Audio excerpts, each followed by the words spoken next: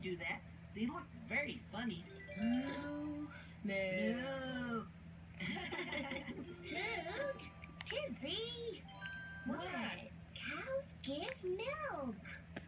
hey, that's right, Tog. And look, there's some milk over here. I know. So the milk goes with the cow. And the egg goes with the sheep. No, no, no.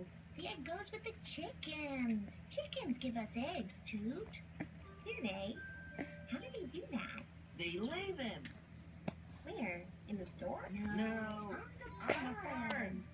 Then the farmer takes the eggs to the store, and people buy them. Yeah.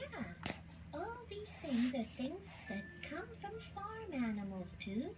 Milk from the cows, Eggs from the chickens. Mm.